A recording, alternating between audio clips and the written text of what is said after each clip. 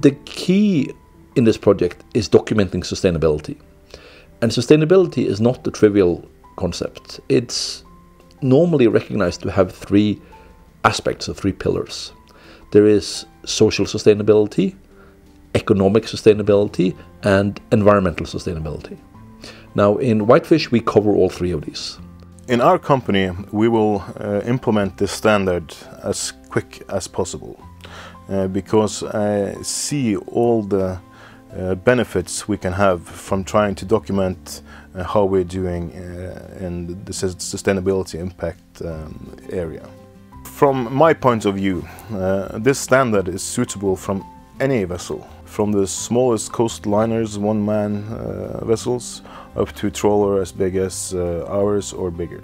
The most unique thing about our project is that we wanted to develop a model and a system that could be used in the day-to-day business processes so that a company could have a look at a catch or a processing run and say what is my sustainability associated with that?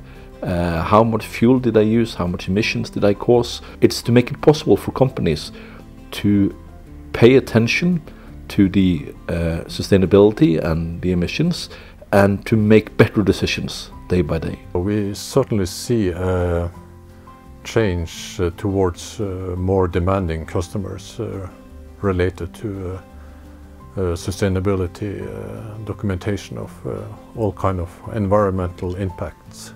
I think we can assist all the small vessels and the small companies, helping them to do the calculations and provide the documentation so that they can offer the same service and documentation about, for example, climate change towards their customers abroad.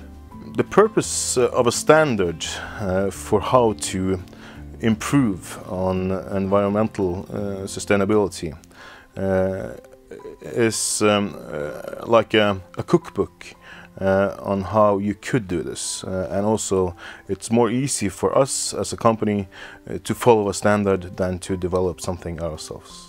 We have some good ideas on how we can uh, start using it. Uh, so, um, so uh, it's maybe all about finding some motivated harvesters and processors and start uh, doing this. Uh, of course, we, have some important decision ma uh, making process ahead of us, but it shouldn't be difficult to, to get this up and running.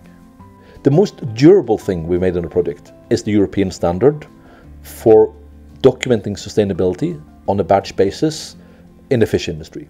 That standard is out there. It's distributed by the European Standardization Organization, and this is a good document to use whether you're a single vessel or a processor or you're an organization that represents these type of industrial actors. You can get hold of the standard and you can either use it as a reference document. You can read it and think for yourself, how am I doing here? Am I doing this? Or alternatively, you can use it as a description of, of what you should do. You could say, okay, I want to uh, document my sustainability. I want to profile my company in these areas. I want to do calculations of CO2 emissions on a daily basis or a weekly basis. Here is the standard. It describes fairly exactly what it is you need to do. So a very obvious follow-up from this would be to get hold of the standard, read it, decide uh, to what degree you want to use it, and if you decide to use it, you will be among the early adopters of companies that are documenting sustainability. And this is something that we expect many companies will have to do anyway. We're now in a situation that the companies who choose to document sustainability will get the competitive advantage for doing that it's probably better to do it now than to wait until everyone is forced to do it because then you have to use to do the same investment but you won't get any benefit from it.